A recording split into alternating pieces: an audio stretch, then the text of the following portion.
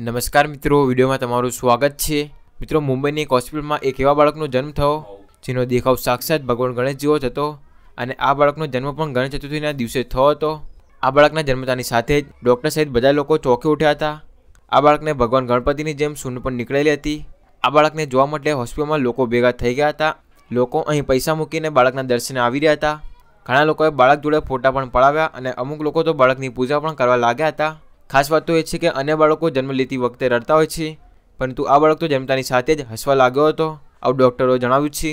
ત્યાં ઉપસ્થિત ઘણા લોકો માની રહ્યા છે કે આ બાળક ભગવાન ગણેશનો અવતાર છે તેથી બધા જ લોકો આ બાળકને ગણપતિનું બીજું રૂપ માની રહ્યા છે ત્યારે મિત્રો આને જોઈને તમને શું લાગે છે તે પણ તમે કમેન્ટમાં જણાવો અને બસ અમારા વિડિયોમાં દાટ લુ વિડિયો ગમે તો લાઈક કરો અને અમારી ચેનલને સબ્સ્ક્રાઇબ નથી કરી તો અમારી ચેનલને સબ્સ્ક્રાઇબ કરો જેથી આવા નવા વિડિયો તમને મળી રહ્યા